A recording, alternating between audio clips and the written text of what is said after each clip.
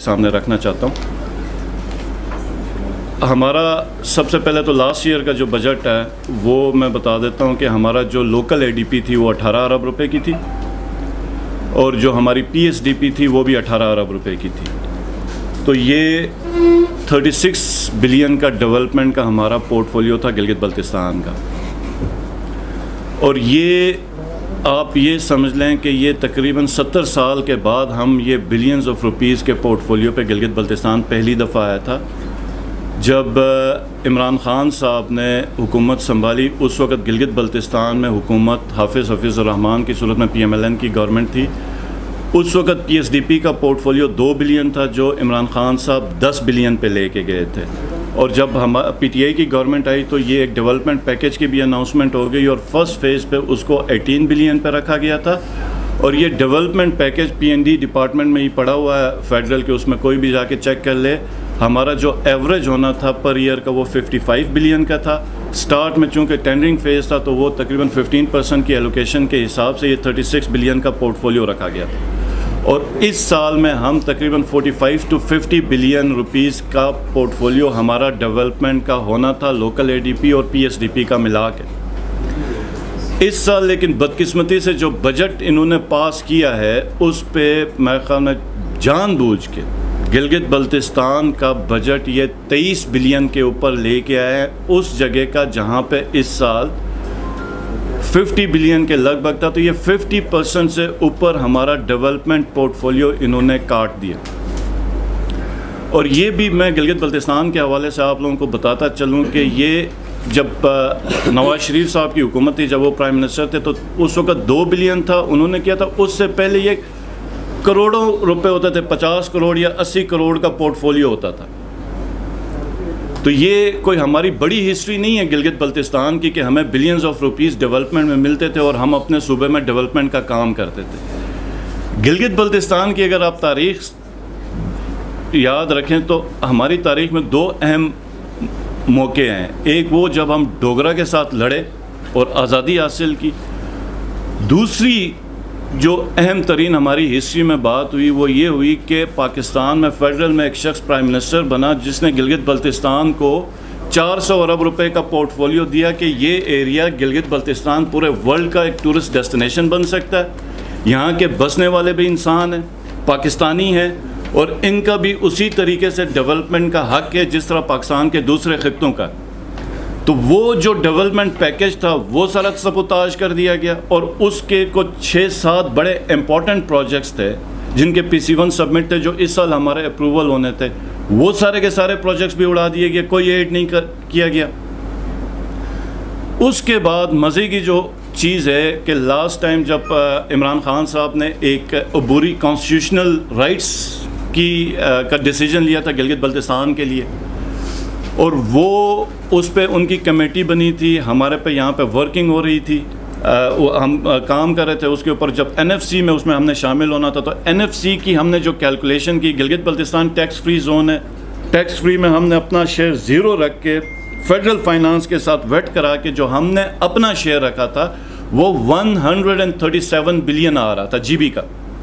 अब एक ऐसा सूबा जिसका अगर वो एनएफसी के अंदर हो तो उसका एक सौ सैंतीस बिलियन हो, और उसको फेडरल ग्रांट की सूरत में पचपन और साठ अरब रुपए मिल रहे हैं, उसमें से भी आप 50 परसेंट काट दें तो सूबा क्या डेवलप करेगा?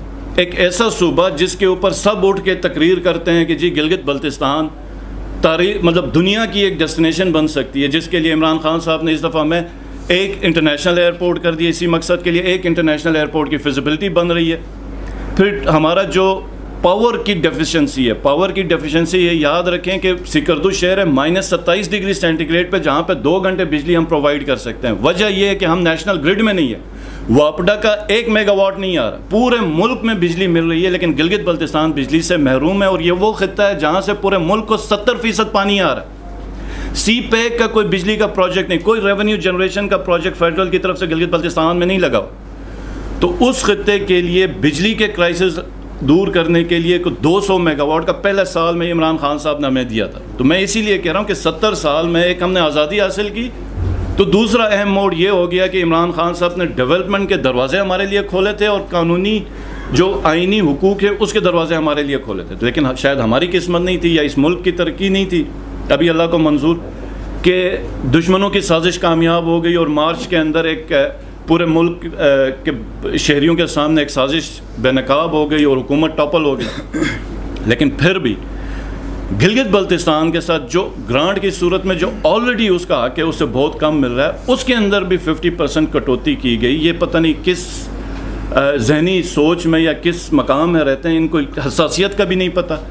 फिर उसके बाद रिकरेंट में रिकरेंट में लास्ट टाइम हम जिस वक्त हमारी हुकूमत आई तो बत्तीस अरब मिलता था।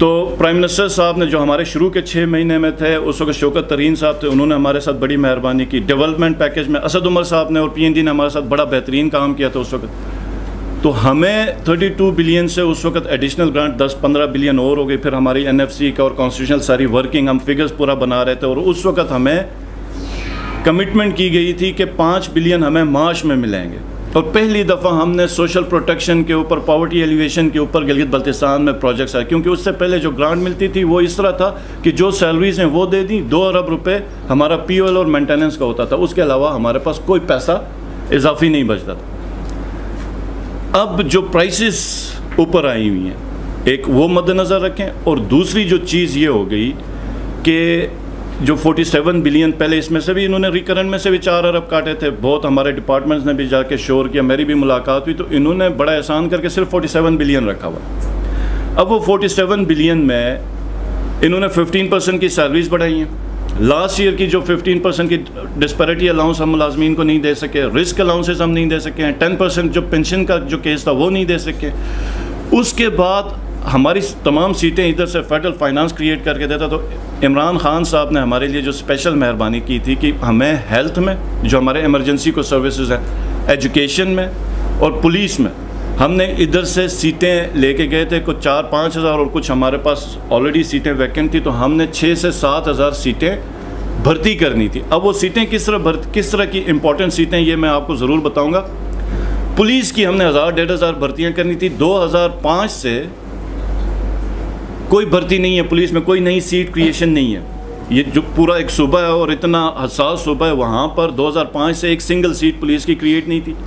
पूरे गिलगित बल्तिस्तान में जनरल नर्सिस की 46 सीटें छिहत्तर क्रिएट हैं, उसमें 46 भर्तियाँ हुई हुई थी। अब आप, मैं ये सूबे की फिगर्स बता रहा हूँ। 400 से 500 स्पेशलिस्ट एमओ सब डॉक्टर्स मिला के 500 की फिगर थी। नर्सिस की शॉर्टेज थी। टीचर्स 10-10 साल से स्कूल्स बने हुए स्कूल्स की सीटें क्रिएट नहीं थी लेक्चर्स 2011 से सिंगल सीट क्रिएट नहीं थी। ये सीटें हमने फिल करनी थी। तो अब ये जो डिस्पैरिटी अलाउंस जो इन्होंने सैलरीज बढ़ाई हुई हैं, ये सब हम बढ़ा के और ये भर्तियाँ करेंगे तो हम शायद हार्डली सैंतालीस अरब रुपए से ये सैलरीज का मद हम पूरा कर सकते हैं। तो इसका ये मतलब है कि कल को कोई सैलाब आता है। हुसनाबाद का सैलाब अभी आपने देखा, अरबों रुपए का हमारा डैमेज हो गया। गिलगित बल्तिस्तान एक ऐसा खत्ता है जहाँ पर सत्रह फ़ीसद ग्लेशियर कवर है। ग्लोबल वार्मिंग की वजह से अब डिज़ास्टर, नेचुरल डिज़ास्टर, आए रोज़ का वाक़ है। ग्लोफ की जो झीलें हैं, वो तकरीबन डेढ़ सौ के करीब साइट्स आइडेंटिफाइड है। उसके अलावा लॉ एंड ऑर्डर के इश्यूज़ हैं, दूसरे हज़ार इश्यूज़ हैं। लोगों के ऊपर खर्च करना हर सूबे की तरह गिलगित बल्तिस्तान की जो जो हुकूमत है, उसकी भी ज़िम्मेदारी है कि पावर्टी एलिवेशन के ऊपर काम करें, स्किल डेवलपमेंट के ऊपर काम करें। जो गरीब लोग हैं, उसके ऊपर इन्वेस्टमेंट करें। हम ह्यूमन कैपेसिटी को हम बिल्ड करें। तो हमारे पास तो कोई पैसा नहीं है। हमारे पास तो अब ये भी पैसा नहीं है कि हम डिज़ास्टर के अंदर अपने लोगों की मदद कर सकें। तो अब तो ये है कि ये अब वफाक जाने। वफाक जाने। तो वहाँ पे अगर डिज़ास्टर हो गया तो वो जाने, क्योंकि अब हम अपने मुलाजमीन के हकूक़ तो नहीं रोक सकते कि उनकी सैलरीज ना बढ़ाएँ, इतनी महँगाई कर दी इन्होंने। और एक चीज़ और कि गंदम सब्सिडी सिंगल क्रॉप एरिया और वहाँ पर फेडरल गवर्नमेंट सब्सिडी देती है। शुरू मेरे ख्याल में सेवेंटी से ये सब्सिडी हमें मिल रही है वीट के ऊपर। और वो लास्ट गवर्नमेंट ने, खान साहब ने एक साल में दो अरब बढ़ाए थे क्योंकि प्राइसेस बढ़ गई हुई थी। और वो दो अरब रुपए अब आठ अरब रुपए पहले इन्होंने चार अरब उसके काट दिए, जो कि हमने, जो चार अरब काटना मतलब फिफ्टी परसेंट स्लैश है। कि मतलब उनका ये था कि तुम लोग भूखे ही रहो और जो मसला होता है, तुम लोगों का अपना मसला है। तो लेकिन फिर हालात की नज़ाकत उनको समझ आ गई और हम लोगों ने भी जब जब सख्त स्टैंड लिया तो वो आठ अरब के ऊपर फिक्स कर दिया। लेकिन जो प्राइसेस अब इंटरनेशनल मार्केट में और नेशनल लोकली गंदम की बढ़ गई हैं, हम 16 लाख गंदम की बोरी 8 अरब रुपए में पूरा नहीं कर सकेंगे। हमें कम से कम हमारी जो इनिशियल कैलकुलेशन के हिसाब से 4 लाख गंदम की बोरी का शॉर्टफॉल आएगा, जिससे दोबारा हमें लॉ एंड ऑर्डर की सूरत हाल होगी और जब ये सूरत हाल होगी तो बहसीत वजी अल मैं तो अपने लोगों के साथ खड़ा हूँ। हमारे पास तो और कोई रास्ता है ही नहीं हाँ एहतजाज के अलावा। तो ये जानबूझ के गिलगित बल्तिस्तान के साथ और कश्मीर के साथ भी इन्होंने इस तरह का किया। तो ये जो इम्पोर्टेड हुकूमत है, ये एक मिशन पे आई हुई है। मिशन पे आई हुई है कि ये छोटे यूनिट्स फेडरेटिंग यूनिट्स को तबाह बर्बाद कर दें। और मतलब इतनी खलीज ये वो कर दें कि इसको हमें दोबारा मतलब दहाइयाँ लगें उसको भर हमारे पास इस वक्त कोई भी जाके देख ले 16 करोड़ रुपए की का जो बजट है वो हम last two years continuous 99.9 percent हम खर्च कर रहे हैं। इस साल भी हम 16 अरब रुपए आराम से खर्च कर रहे थे। हमारे पास कोई साठ सत्तर करोड़ रुपए बचे थे जो दस अरब रुपए।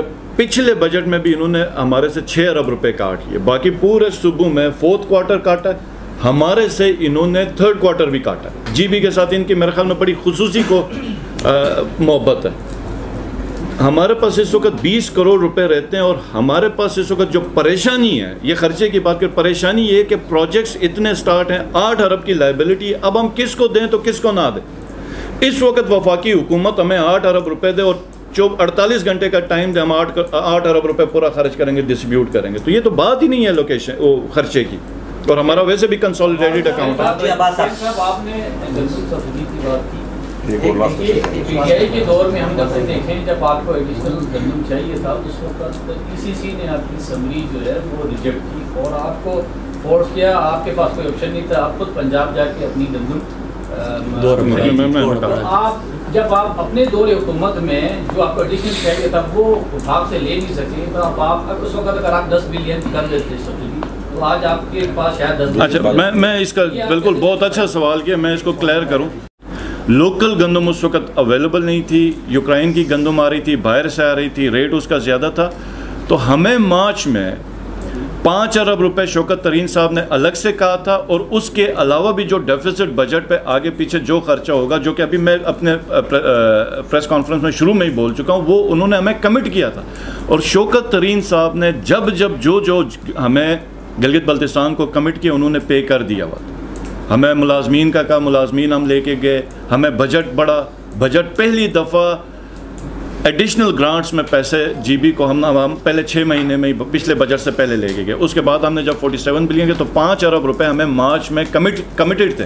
तो हमने जो अपना एक बिलियन से खुल्लम खुला हमने खर्चे किया था कि वो इसी वजह से किया था कि हमें फाइनेंस ने मार्च में इसको कंपनसेट करना जो कि अनफॉर्चुनेटली जब यहाँ पर सियासी हालात चेंज हो गए तो हमें यहाँ से पाँच अरब तो क्या मिलने थे जो हमारा अपना था?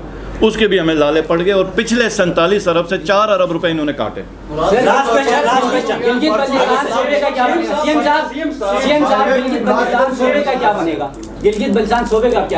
इनशाला ताला इनशाला ताला इमरान खान साहब पाकिस्तान की आवाम की सपोर्ट से वापस आएँगे। तो ये जो वादा है ये भी पूरा होगा क्योंकि वाइट प्राइम मिनिस्टर है जब प्राइम मिनिस्टर बन गए तो गिलगित बल्तिस्तान के लोगों